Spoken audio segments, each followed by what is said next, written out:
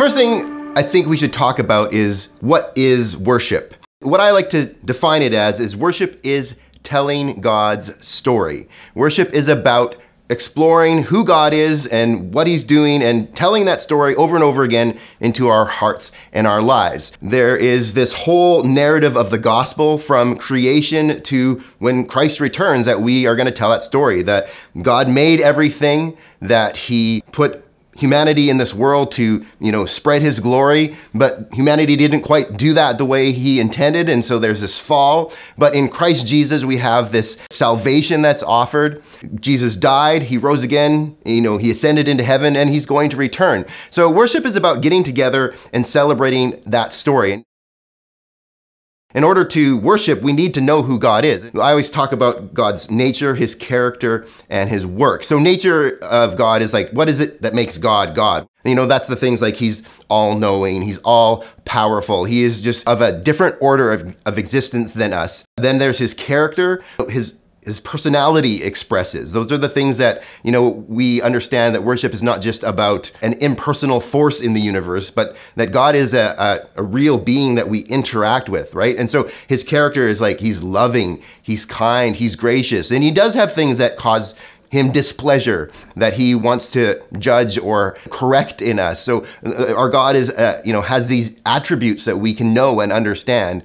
And then there's also his work that he actually is involved in our world. He's involved in our lives, that he reaches into history and does things. And, you know, scripture is our record, our reference of that. The scripture tells the story of what God has done in the world. And it's through his action in history, through his interaction with people, Israel and now the church and us today, that we get to know who he is, what it is that is, there is about him. And that's how we are able to worship. And that's why scripture has to be at the foundation of worship. Scripture is what helps us know and gives us that sure foundation so that we worship correctly. Without scripture, we could worship anything. We could fashion all kinds of idols out of our own, you know, desires or, you know, purposes. But scripture is what grounds us in worshiping the true God, the one God of the universe and how he has revealed himself.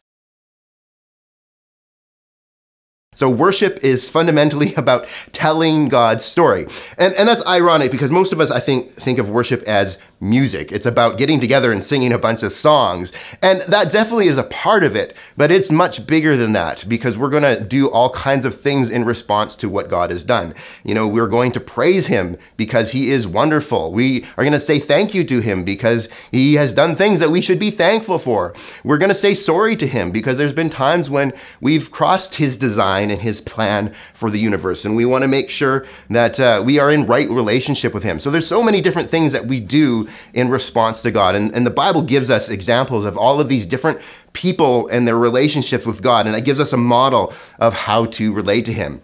Now, I also want to say that music is important, right? Because uh, all of life is in some form artistic. And, you know, everybody is in some way an artist. You can tell this because like when we went into isolation over COVID, nobody went home and was like, wow, it's time for me to pick up on my math skills, right? It's amazing how many guitars got sold over COVID. How many people went home to learn how to play piano? They've filled their time with artistic and aesthetic things because that is just how we express ourselves. And art is a more integral part of our world and our existence than we tend to think.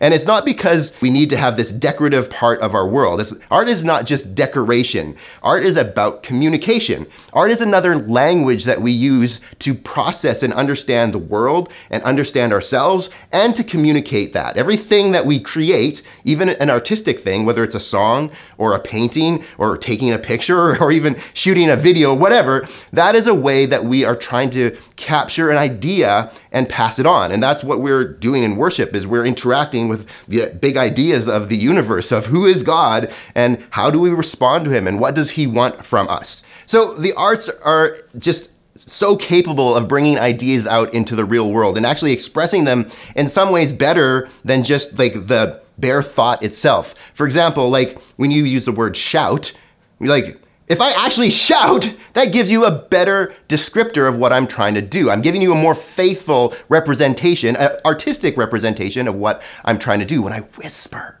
when I when I talk softly, you know that tells you something differently than when I'm just talking at regular levels. Yip Harburg, he's an American uh, songwriter, famous for writing all kinds of classic American songs, and he said this. He said, "Words make you think thoughts."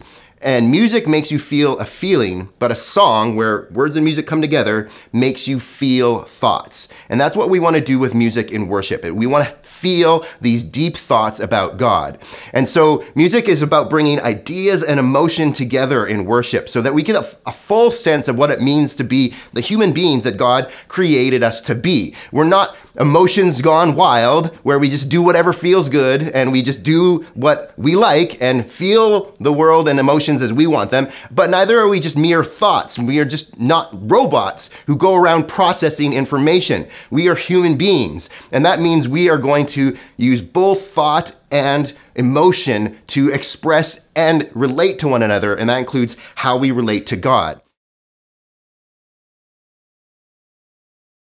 Which brings us to the issue of habit or routines because we don't just do them whenever we feel like that. As Christians, we have some pretty established practices where we get together, worship God at set times. And practice is like the important word here because you don't get good at things, you don't actually establish real relationships, or you don't actually develop depth in any field without any kind of practice. Like I come from the world of music, so I'm used to practicing piano. And there's nothing fun about practicing scales, but you have to do that to you know, achieve mastery in the instrument so that you can eventually play a song and join a bunch of people together and have the joy of that community. And in the same way as Christians, we get together and we go to you know, church. We gather in Sunday schools. We study the word. We worship together. We learn the words and languages of the gospel together so that when we scatter and go out in the world, we are taking that gospel in its fullest sense everywhere. We learn how to say, I love you. Uh, we learn how to say,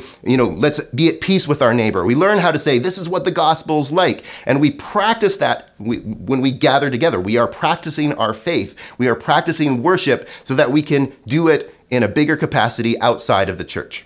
So cultivating these habits are really important because we are creatures of habit. We do certain things in certain ways all the time. Even when I think about when I get up in the morning, you know, I always like, okay, I get up, I wash my face, I brush my teeth. Like I do things in a certain order. And habits have the potential to form who we are. And it's because of this that we have to be careful that we are cultivating our habits in the right direction because we are prone to being idol worshippers, to cultivating habits in the wrong direction. And our world is full of that today. When you think of like the mall, the mall is a place where we cultivate habits of consumerism. You go to the mall and it shouts at you. You are defined by what you buy and what you can consume. We are habituated by the theater. We go to the movie theater, or we go to plays, or we go to concerts. And the point of that is to think about what you know, it means to be the center of attention, where I'm the center of the attention instead of God. And we long to be in that position and celebrate that.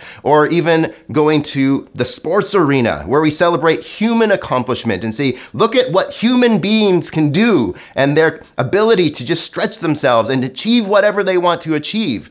And again, that leaves God out of the picture. Uh, none of these things are bad in, in and of themselves, but at times our hearts can be so drawn into them that they become a priority and they slowly and subtly shut out God. And again, worship is where we come and renounce all of those idolatries, renounce all of those primary loves and routines, and orient our heart toward God because we aren't as rational as we think. We need to practice these habits so they come out naturally in the world around us.